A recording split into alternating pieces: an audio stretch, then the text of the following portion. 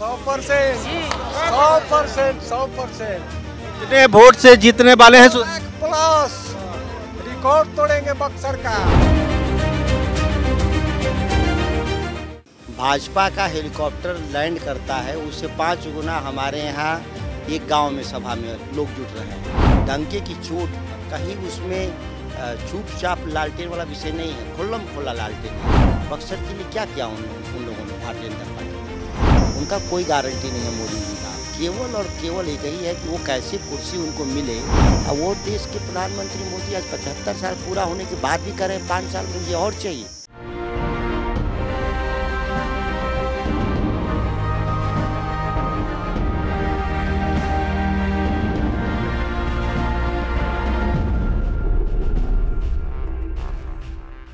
नमस्कार, आप देखना शुरू कर चुके हैं कैपिटल टीवी बिहार और मैं आपके साथ सरोज सिंह। गर्मी बहुत है बक्सर में। नेता परेशान हैं, पत्रकार भी परेशान हैं, लेकिन जहाँ हम बैठे हैं, लोधास गाँव में, यहाँ पर एक कार्यक्रम है। राजद प्रत्याशी हैं सुधाकर सिंह जी लालटेन जलाने की कोशिश रात दिन कर रहे हैं, माहौल बना हुआ है, लेकिन जनता थोड़ी चुप दिखाई पड़ती है। क्या सुधाकर जी चुपचाप लालटेन छाप होने वाला है बक्सर में? आपको जनता चुप कहाँ दिखाई दे रही है? आप जहाँ हैं सभा स्थल पर भाजपा का हेलीकॉप्टर लैंड करता है। उससे पाँच गुना हमारे यहाँ एक गाँव में सभा में लोग जुट रहे हैं। तो चुपचाप कहाँ है? सड़कों पे इतनी गर्मी में भी सड़कों पे खड़ा है गर्मियों में। ये पेड़ के नीचे हज़ारों की तादाद में लोग आए हुए हैं। तो ये बहुत ही मुखर रूप से बक्सर की जनता लोकसभा चुनाव में पार्टिसिपेट कर रही है। डंके की चोट पर कहीं उसमें चुपचाप लालटेन वाला विषय नहीं है खुल्लम खुल्ला लालटेन है यहाँ। अच्छा यहाँ खुल्लम खुल्ला लालटेन है लेकिन एक सवाल बक्सर में पूछा जाता है। मिथिलेश तिवारी गोपालगंज से आ जाते हैं अश्विनी चौबे भागलपुर से आते हैं। क्या बक्सर में का बेटा दिल्ली जाने के लायक नहीं है? ऐसा क्यों होता है कि बक्सर का बेटा छूट जाता है बाहर के लोग दिल्ली चले जाते हैं? भारतीय राजनीति के नए अंग्रेज़ भारतीय जनता पार्टी ये बाहर से इसलिए ले जाते हैं लड़ाने के लिए कि वो पार्टी और शीर्ष नेतृत्व से सवाल न करें, अपने इलाके के विकास की मांग न करें। यही दुर्भाग्य है। भारतीय जनता पार्टी का चरित्र है और इसको लोग देश भर में कहीं यहाँ नहीं, आप पूरे बिहार में आप एक दर्जन सीटों पे देख रहे हैं जो भारतीय जनता पार्टी यहाँ दूसरी जगह से लगा, लड़ा रहा है। जिनका कोई वहाँ राजनीतिक वजूद ना हो, कोई पहचान ना हो और स्वाभाविक है कि जब कनेक्ट नहीं है पीपुल्स से तो अपने वहाँ इलाके में स्थानीय रूप से मांग भी नहीं करेंगे। तो भारतीय जनता पार्टी को ये मुफीद है, सुविधा है कि वह केवल अडानी अंबानी के लिए दिल्ली में काम कर सकें, किसानों, मजदूरों, नौजवानों के लिए काम ना हो। ये मसला है। बक्सर भी उसका एक केस है, जहाँ चौबीस साल से बाहर से लोग हैं। और जो गोपालगंज में तीसरे स्थान पे था विधानसभा में, वो बक्सर के लिए फिट कहाँ है? ज़रूर भारतीय जनता पार्टी का यह धनबल का भरोसा होगा कि धनबल के ज़रिए हम इस मतदान को सुधाकर जी आप जो बात बता रहे हैं इसका मतलब है तो वो तो आपको कहीं ना कहीं फ़ायदा ही मिल रहा है कि अब बक्सर की जनता भी समझ रही है कि लोकल इशू दिल्ली में नहीं उठाया जाता है भारतीय प्रत्याशी से। हम अगर सुधाकर सिंह को जिता के भेजेंगे तो यहाँ की जो समस्या है बक्सर की वो दिल्ली तक संसद में भी गूंजेगी। तो कहीं ना कहीं से ये आपको फ़ायदा मिल रहा है या क्या हो रहा है? आपका अनुभव क्या है? देखिए ना बिहार यहाँ के लिए बक्सर के लिए मेडिकल रिसर्च इंस्टीट्यूट मिला था। वो अश्विनी चौबे भागलपुर उसको शिफ्ट कर दिए। इससे ज़ाहिर है कि यहाँ की जो हिस्से की जो हिस्सेदारी है, जो प्रधानमंत्री भी 2019 की लोकसभा चुनाव में कहे थे कि बक्सर को हम वाराणसी बना देंगे, काशी बना देंगे, बक्सर के लिए क्या किया उन लोगों उन लोगों ने, भारतीय जनता पार्टी के लोगों ने? ये कोई भी आए जाएँ, ये कुछ करने के मूड में ही नहीं है। और भारतीय राजनीति में जब देश का प्रधानमंत्री का ही क्रेडिबल ना हो, जो ये कहे कि हमारे जो वायदे थे वो जुमले हैं इससे बड़ा क्या हास्यास्पद स्थिति होगा? भारतीय लोकतंत्र में प्रधानमंत्री भगवान नहीं होता, लेकिन भगवान से कम की उसकी हैसियत भी नहीं होती। लोगों को विश्वास होता है कि देश का प्रधानमंत्री जो कह रहे हैं, वही सत्य है। और उन्होंने दो करोड़ हर साल नौकरी देंगे, पंद्रह लाख लोगों को देंगे। अपने वो जुमले थे उनके हर खेत तक पानी पहुंचाएँगे किसानों की आमदनी दोगुना करेंगे। ये सारे उनके थे और उन्होंने कहा नारे नहीं जुमले थे। ये मैंने झूठ बोला था। सुधाकर जी एक चीज़ और कही जाती है मोदी की गारंटी की। मोदी जी गारंटी दें राशन को लेकर करें विकास को लेकर गारंटी दें ये तो समझ में आता है। लेकिन लालू प्रसाद को हम जेल भेज देंगे तेजस्वी यादव को हम जेल भेज देंगे ये मोदी की गारंटी है। ये क्या है? नहीं मोदी जी की गारंटी जेल भेजने की नहीं है। मोदी जी की केवल एक ही गारंटी है कि दूसरे दल के लोगों को कैसे अपने में शामिल करा लें धन, बल के ज़रिए। हेमंत विश्व विश्वकर्मा जो देश के सबसे भ्रष्टतम नेता थे, उनको असम का मुख्यमंत्री बना दिया। बी एस येदुरप्पा जो देश के सबसे भ्रष्टतम मुख्यमंत्री थे कर्नाटक के, पुनः उनको मुख्यमंत्री बना दिया। अजीत पवार के आधार पर ही एनसीपी को चुनाव हराने का अभियान महाराष्ट्र में चलाए और चुनाव के बाद एनसीपी उसी अजीत पवार को उप मुख्यमंत्री बनवा दिया महाराष्ट्र में।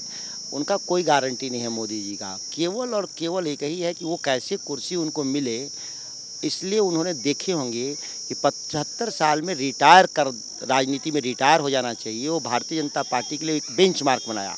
अटल बिहारी वाजपेयी एल के आडवाणी और मनो, मुरली मनोहर जोशी ज़िंदा रहते दफन कर दिए गए राजनीति में। और वो देश के प्रधानमंत्री मोदी आज पचहत्तर साल पूरा होने के बाद भी करें, पाँच साल में मुझे और चाहिए। इससे हास्यास्पद क्या है? वो लोग जो देश में नारा लगाए थे, एक देश दो विधान नहीं चलेगा, आज अपनी पार्टी में दो विधान, अपने के लिए अलग विधान और पार्टी के कार्यकर्ताओं के लिए अलग विधान, ये भारतीय जनता पार्टी का नया चेहरा, नया चरित्र। ये अपने आप में इस देश की जनता समझ रही है, इसमें कोई शक नहीं है। लगता है कि एक डराने वाली बात है कि हम जेल भेज देंगे काउंटडाउन शुरू हो गया। मतलब डरा किसको रहे हैं प्रधानमंत्री? प्रधानमंत्री जी खुद डरे हुए हैं। अच्छा प्रधानमंत्री खुद डरे हुए हैं। डरे हुए हैं कि हम चुनाव हार रहे हैं। इसीलिए विपक्ष को डरा रहे हैं कि आप चुनावी अभियान को थोड़ा धीमा कर दें कि हम किसी तरह से सत्ता में वापसी हो जाए। और कोई राजनीतिक दल कोई नेता धीमा भी हो जाए उनके भय से धमकी से जनता नहीं डरने वाली जनता बदलाव के मूड में है। वो आगे बढ़ चुकी है। नेता से आगे अब जनता चल रही है। देखिए जनता के बीच भी हम लोग बक्सर में जा रहे हैं। एक मांग होती है एक उम्मीद है आप बक्सर के लोगों के कि सुधाकर जी बक्सर के लिए कुछ करेंगे।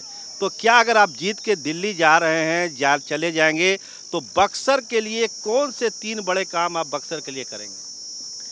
बक्सर के लिए हर खेत तक पानी पहुँचाने का हम लोग निर्णय लिए हैं जिससे हमारा उत्पादन किसानों का बढ़ेगा।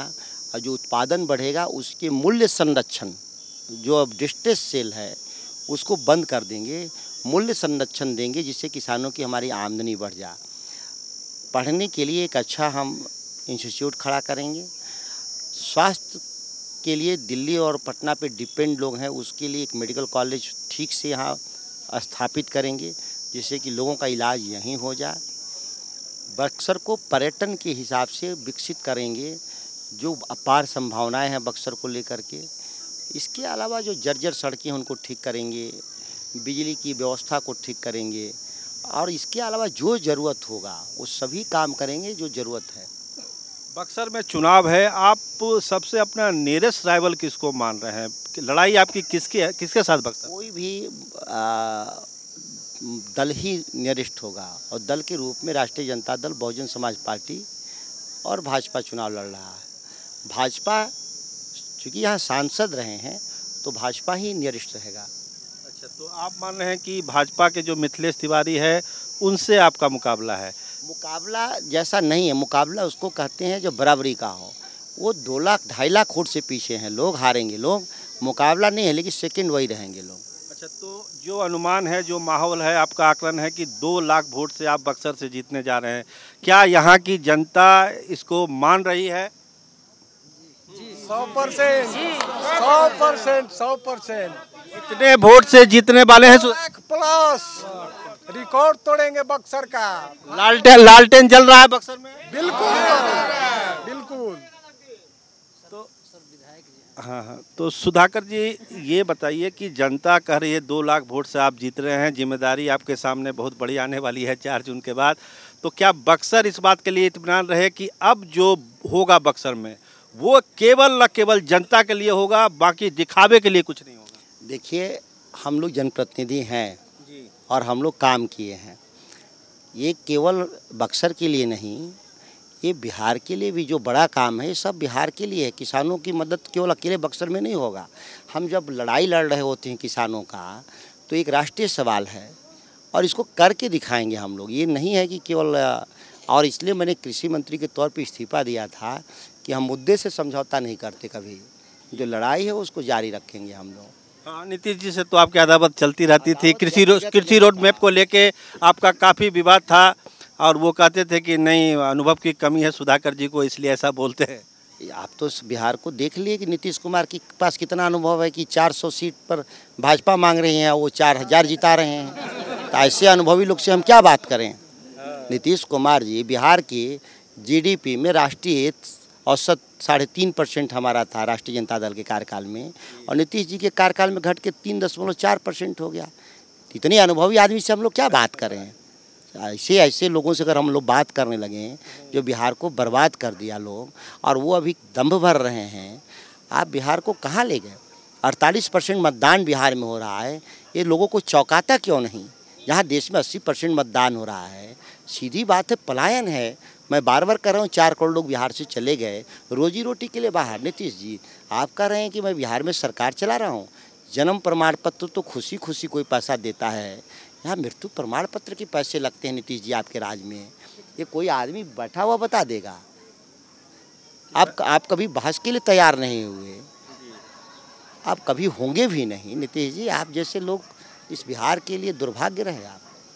तो पूरे बिहार के परिप्रेक्ष्य में भी पूछ सकते हैं लेकिन हम शाहबाद के परिप्रेक्ष्य में पूछते हैं कि शाहबाद में क्या लग रहा है महागठबंधन कितने सीटों पर जीत रहा है हम चारों सीट पर बढ़त बनाए हुए हैं। कम वोट से, चाहे ज़्यादा वोट से। हम लोग चारों सीट पर जीतेंगे शाहबाद में। जी। तो ये थे हमारे साथ सुधाकर सिंह जी। साफ़ कर रहे हैं, बक्सर तो हम दो लाख प्लस वोट से जीते ही जीतेंगे। शाहबाद की भी चारों सीटें हम जीतने जा रहे हैं। और बक्सर की जनता के लिए इनका वादा है कि अब किसी को दिल्ली का मुँह नहीं देखना पड़ेगा। बक्सर में इतना काम होगा कि लोग कहेंगे कि हम बाहरी के चक्कर में आके अपना दस साल बर्बाद कर चुके हैं, आगे हम बर्बाद नहीं करेंगे। और सुधाकर सिंह जो बक्सर का बेटा है, वो बक्सर के लिए क्या क्या करेगा, इसका इंतज़ार बक्सर की जनता को भी है और देश की भी जनता को है। हमारे साथ आप जुड़े सुधाकर जी, आपका बहुत धन्यवाद।